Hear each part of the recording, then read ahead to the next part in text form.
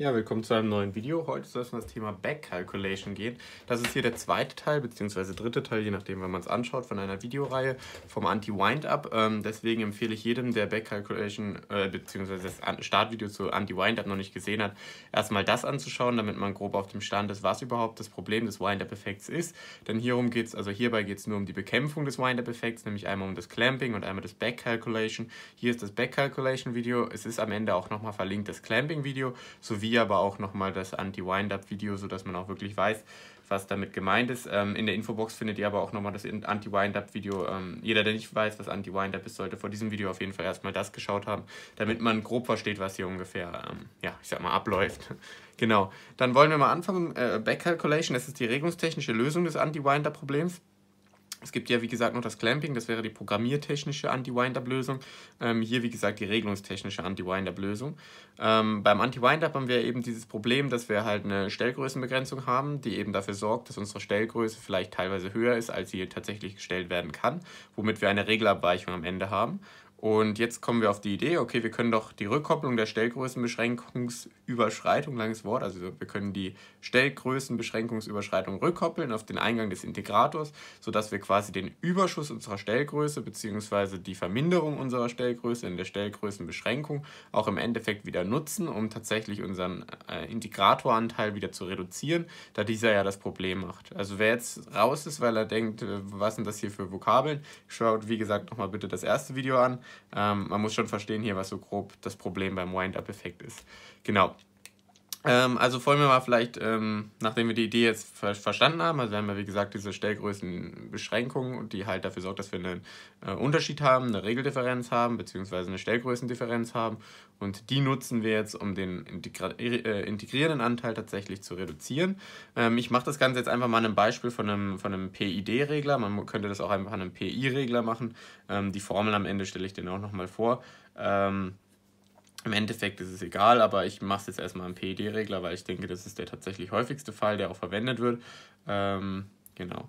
Also beim PID-Regler, da gehen wir zum Beispiel durch eine Zeitkonstante, die halt oben im Zähler steht, von dem ähm, differenzierenden Anteil. Also ich male die jetzt einfach mit den Vokabeln, also jetzt nicht mit der ähm, tatsächlichen ähm, Löse, also nicht tatsächlichen Schaubilder, die man tatsächlich hat für jetzt einen D-Regler oder einen I-Anteil, sondern tatsächlich einfach nur mit der ähm, finalen Formel. Genau.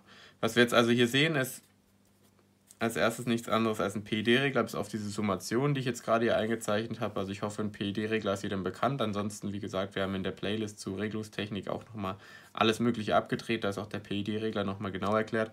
Aber ich denke, wer an dieser Stelle hier ist, der weiß schon wahrscheinlich, was ein PED-Regler ist. Ähm, bis dahin also nichts Neues. Wir haben einen P-Anteil, wir haben einen D-Anteil, wir haben einen I-Anteil. Das Einzige, was vielleicht ein bisschen komisch ist, warum habe ich da jetzt eine Summation reingemacht? Aber das ist eben genau der Teil von der Back-Calculation, weil wir haben ja hier am Anfang die Regelabweichung, die wir halt vom, äh, ja, von der Rückkopplung kriegen, ähm, haben dann hier unsere Stellgröße und diese Stellgröße kann halt eben nicht komplett gestellt werden. Das heißt, wir haben hier eine Stellgrößenbegrenzung drin, die male ich mal wieder mit so einem Begrenzungsglied da rein und kommen dann hier hinten tatsächlich auf unserer tatsächlichen Stellgröße, die halt leider reduziert ist, raus. Das ist jetzt nichts anderes als, die Back, äh, als, als die, das Winder-Problem, was wir halt hier aufskizziert haben. Und jetzt, wie gesagt, dieser integrierende Anteil, solange wir halt in diesem Winder-Problem drinne stecken, wächst und wächst und wächst und wächst. Das heißt, wir müssen versuchen, hier irgendwie diesen Anteil zu verringern.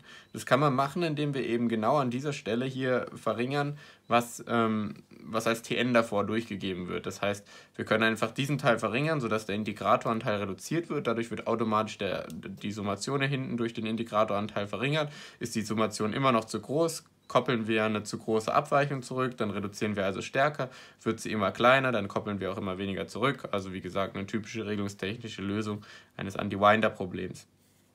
Und das machen wir einfach, indem wir einfach vorher und nachher nehmen. Das Problem ist, man muss das natürlich an der Stelle messen können. Das war jetzt nicht so schlau fürs Malen.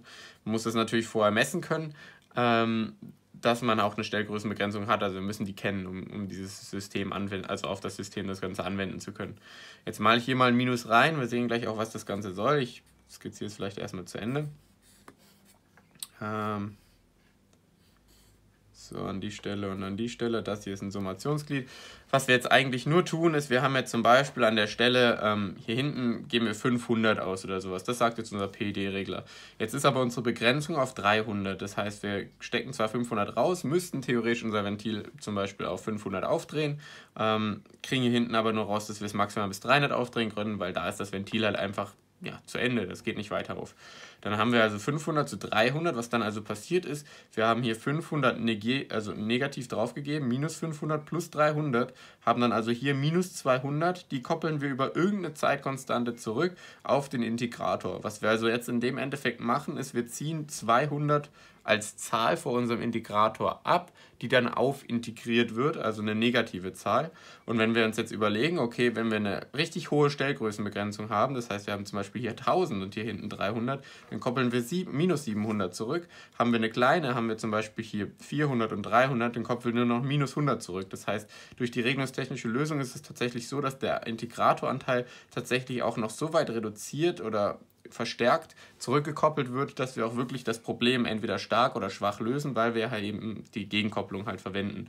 Also nicht wundern, dass hier kein Minus steht. Ich habe das Minus quasi hier hingeschrieben. Man hätte das Minus auch an die Stelle und ebenfalls an die Stelle schreiben können und dann hier weglassen können. Das macht im Endeffekt keinen Unterschied. Man sollte sich nur bewusst sein, bei der Stellgrößenbegrenzung koppel ich halt in dem Endeffekt wieder eine negative Zahl jetzt zurück, wenn es eine äh, positive Stellgrößenbegrenzung ist und nutze das Ganze aus.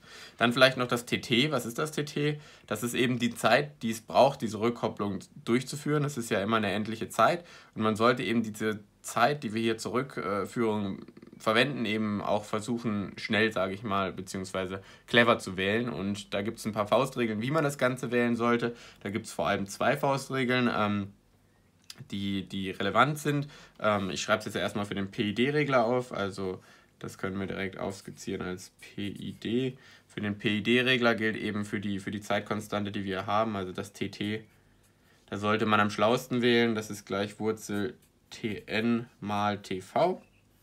Beziehungsweise, was auch erlaubt ist, man kann es ja gerne mal ausprobieren, in den meisten Fällen kommt es tatsächlich auf was äh, relativ ähnliches raus, ist, dass man ähm, dafür, ach nicht Tn, Entschuldigung, TT, ist gleich Wurzel Tn plus TV Manche sagen sogar, man soll das einfach mit ein halb nehmen. Also das wäre dann einfach der Fall, dass man sagen würde, ähm, TT gleich TN plus TV halbe. Da muss man immer schauen, was natürlich am schlausten ist. Das Einzige, was man halt sehen sollte, ist, dass auf jeden Fall gelten muss, dass ähm, TT kleiner ist als TN, weil wenn die Rückkopplung hier langsamer wäre als das TN, dann würde es ja tatsächlich nicht viel bewirken, weil wir halt eine, ja, eine zu, zu langsame Rückkopplung für den Prozess hätten. Also am Endeffekt wähle eins von diesen Verfahren. Am meisten nimmt man wahrscheinlich das mit der Wurzel, am häufigsten, ich verwende meistens immer das, aber da muss man dann halt darauf achten, wenn jetzt hierbei rauskommen sollte, dass eben das TT auf einmal größer wird als das TN, dann sollte man das Ganze natürlich nicht verwenden. Genau. Dann an der Stelle vielleicht noch ähm, kurz zum PI-Regler. Also wenn wir uns das Ganze beim PI-Regler überlegen, da haben wir gar kein TN oder ein TV. Das heißt beim PI-Regler, da kann man einfach die gleiche Regel wie oben eigentlich anwenden. Man macht ähm, Wurzel TN mal TV. Wir haben aber ja gar kein TV, das heißt, wir ersetzen jetzt einfach dieses TV durch noch ein TN, also den Anteil vom I-Anteil, haben dann Wurzel aus TN Quadrat und das ist nichts anderes als Tn. Sprich, hier verwendet man tatsächlich einfach die gleiche Zeitkonstante wie beim I-Anteil, kann aber auch kleinere verwenden. Genau, wenn es dazu, also es sind Faustregeln, ne? Wenn es dazu sonst Fragen gibt, dann gerne in die Kommentare. Ansonsten verweise ich nochmal auf die etwas leichtere Lösung, das Clamping. Ähm, wie gesagt, das ist allerdings ähm, eher programmiertechnisch, nicht regelungstechnisch. Das ist nochmal unten auch verlinkt. Und wenn jetzt zu viel unklar war, wie gesagt, dann schaut nochmal gerne vorbei, auch bei dem Video, ähm, in dem das Ganze erklärt wurde zum Anti-Wind-Up-Video oder einfach in die Playlist der Regelungstechnik. Da haben wir auch noch viele Videos gemacht. Ansonsten findet ihr jetzt die Videos hier oben nochmal verlinkt und ich bedanke mich fürs Zuschauen und dann bis zum nächsten Video.